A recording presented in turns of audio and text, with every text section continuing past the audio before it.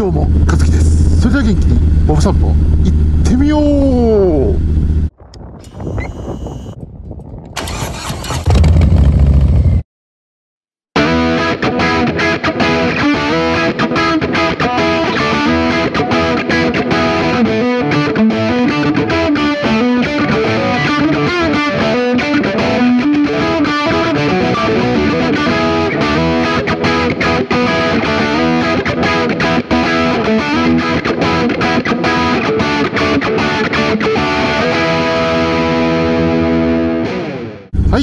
てな感じでねボブ散歩始まりました。おじいちゃんすげえな。ミラーが長いな。ミラーが長えな。ってな感じでね。はい。昨日ねちょっとオイル交換してお桜咲いてる。今走ってもらうわけですけどなんか久しぶりにオイル交換するとなんか手に合わ悪いというかなんか汚汚す汚し放題汚しちゃって。あーたまにやることこういうことなんですね。うん。で今日は天気いいんで走り始めてますが明日明後日天気はですね。明日で私は38歳なんですけどね。早いですね1年ね。4月3日で誕生日でございます。なんかプレゼントください。なんちって。しかしバイクの季節になってきましたね皆さん。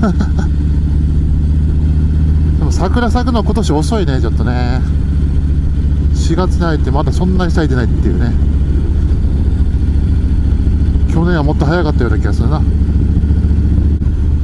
ああ俺昨日バカやったんだそういえば。バカやったっつうか。オイル交換終わった後にエンジンかけようと思ってかけたらかかんねえと思って。やべえ何なんかなんか閉め忘れたとかなんかなんかやらかしたと思って。よーく考えて10分ぐらい考えたね。試行錯誤してかかんねえかかんねえ。で結局ね原因はねニュートラじゃなくて一足に入ってたっていう閉じをしました。バカだねだからね。いやーエリミネーターいい音だなほんと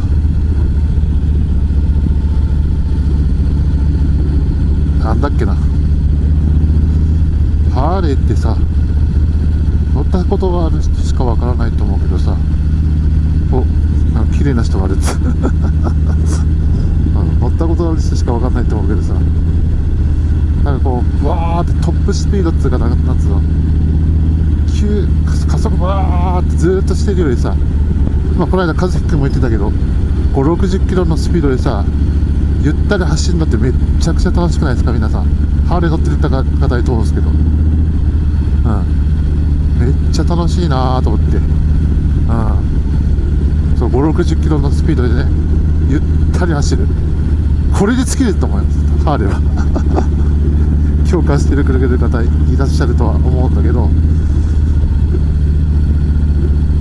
そう。遅くねえと思われるけどこれぐらいのスピード出してるのは気持ちいいんだよねエンジン音とかマフラー音がめちゃくちゃ気持ちいいの。分かってもらえるかな。かんないな動画で伝わんだよな。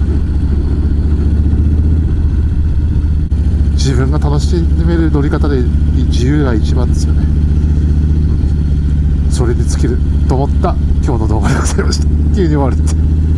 まあ行き先ないんで別に。そんな感じでね今日の動画は。菜の花を見ながら。あなくなっちゃった。菜の花を見て終わりにします。それでは皆様ご視聴ありがとうございました。では終わりまりまたね